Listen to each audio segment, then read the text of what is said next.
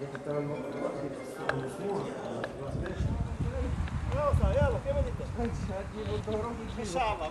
مرحبا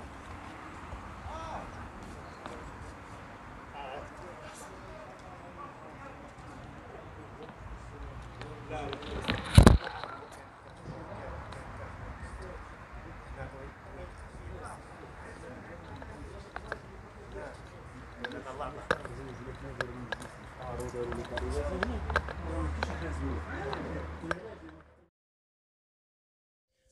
نظمت هيئة المحامين بخريبكا ندوة علمية تحت عنوان المسطرة الغيابية بين النص القانوني وإشكال التطبيق. وذلك وفق برنامج غني ومتنوع توزع على جلستين. ففي الجلسة الافتتاحية التي تخللتها كلمات ترحيبية وتوجيهية لكل من الأستاذ عبد اللطيف عبيد الرئيس الأول لمحكمة الاستئناف بخريبكا الأستاذ أحمد المسموكي الوكيل العام بنفس المحكمة والأستاذ علال البصراوي نقيب هيئة المحامين بنفس الدائرة القضائية بخريبكا. أما الجلسة الثانية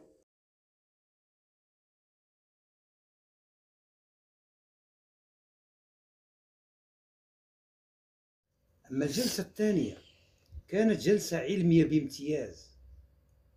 حيث تميزت بمداخلات غنية بمعارفها سلطت الضوء على الجوانب المعتمة في هذه الإشكالية إشكالية المسطرة الغيابية. فالمداخلة الأولى كانت للأستاذ أحمد المسموكي الوكيل, الوكيل العام للملك بمحكمة الاستئناف بخريبكا حول الطعن في القرار الجنائي وآثاره.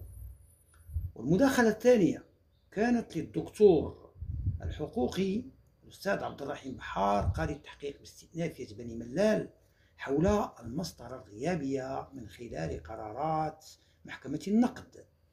ومداخلة الدكتور عمر كاسي رئيس غرفة بمحكمة الاستئناف بسطات تطرقت إلى إشكالية الإشكالات العملية للمصطلح الغيابي أخيرا داخلت الدكتور مولاي الحسن الراجي عضو المجلس عضو مجلس هيئة المحامين بمراكش حول المسطرة الغيابية في قضايا الأحداث.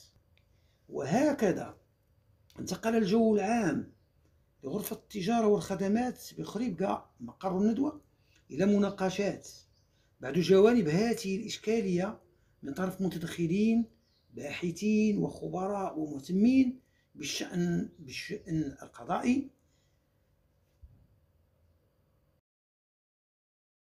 وهكذا انتقل الجو العام لغرفة التجارة والخدمات بخريبكا مقر الندوة إلى مناقشات بعد جوانب هذه الإشكالية إشكالية المسطرة الغيابية بين النص القانوني وإشكالية التطبيق من طرف متدخلين باحثين وخبراء ومهتمين بالشأن القضائي.